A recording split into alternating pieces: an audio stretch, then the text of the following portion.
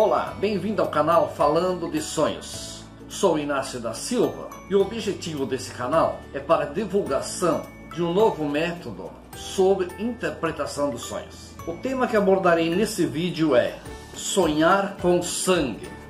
Quando pensamos em um símbolo universal para definir a simbologia de sangue no sonho, o primeiro grande acontecimento que nos vem à mente é Jesus que derramou seu sangue pregado na cruz, em benefício da humanidade.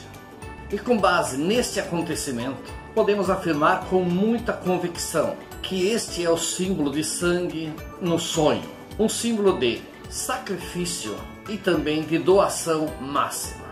Não importa se quem sonhou acredita em Jesus ou não. A verdade é que este símbolo é conhecido no mundo todo. Vou citar alguns exemplos para tornar mais fácil entender quando sonharmos que tem sangue. Porque daí pode simbolizar que a pessoa que está sonhando se sacrificou por alguém ou que alguém se sacrificou por ela é importante que a gente sempre tenha muito claro em nossa mente. Todo o sonho tem que ter todo o conteúdo do sonho para fazer uma análise perfeita de um sonho, uma interpretação perfeita. Para definir o símbolo unicamente sangue que está no sonho, que está nos transmitindo a mensagem no sonho, é necessário que você no sonho só tenha sangue em sua frente então será uma mensagem com unicamente sangue. Ou então, no caso de um sonho, se lá no meio do sonho ou mais para o final do sonho tiver sangue, ele será para completar uma frase, uma mensagem que tem o mesmo significado. Sacrifício ou se sacrificou. Também na interpretação de um, um sonho com sangue, nós podemos interpretar nesse sentido.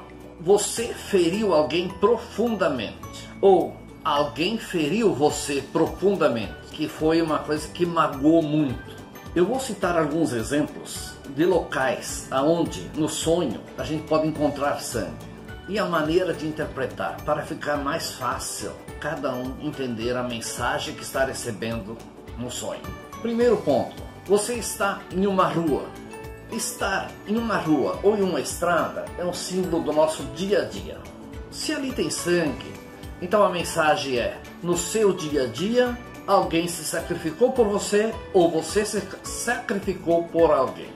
Quando no sonho você está dentro de sua casa, então ali tem sangue. Então a interpretação é: nesse ambiente, se tiver alguma pessoa que você viu que o sangue é dessa pessoa, ninguém feriu ela, ninguém feriu e o sangue simplesmente é sangue dela que está no chão ou algum local. Então simboliza que essa pessoa se sacrificou por você. Ou se é seu sangue que está derramado dentro de casa e você sabe que é seu, mas você não se feriu, não sabe por que esse sangue está lá, simboliza que você não está percebendo que você está se sacrificando a mais que o necessário nesse ambiente.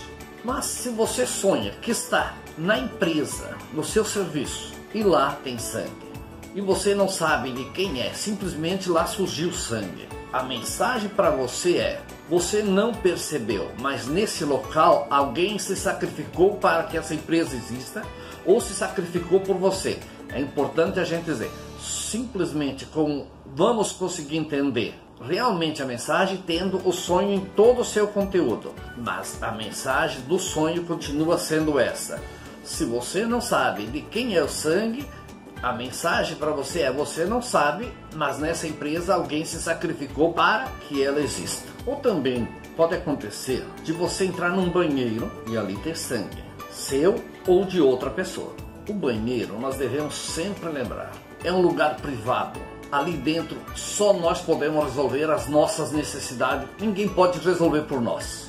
Então, o que tiver dentro do banheiro sempre vai dizer a nosso respeito. Se lá dentro tiver sangue que é de outra pessoa, é você que feriu alguém, é você que sacrificou alguém. Agora, se tiver sangue seu, então você deve prestar atenção, muita atenção no sonho, porque você pode ter provocado seu sacrifício. Você se sacrificou sem perceber alguma coisa. Você está se ferindo profundamente.